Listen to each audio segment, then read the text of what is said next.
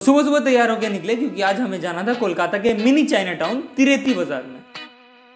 लेकिन हमें रास्ता मिल नहीं रहा था तो हमने रिक्शा वाले अंकल को बोला कि ले चलो जहाँ मुझे कैपिटलिज्म और अत्याचार देख के खराब लगने लगा। लेकिन जब इतू सा रास्ता के लिए अंकल ने पैसे मांगे तो कैपिटलिज्म का अत्याचार खुद पे ही फील होने लगा।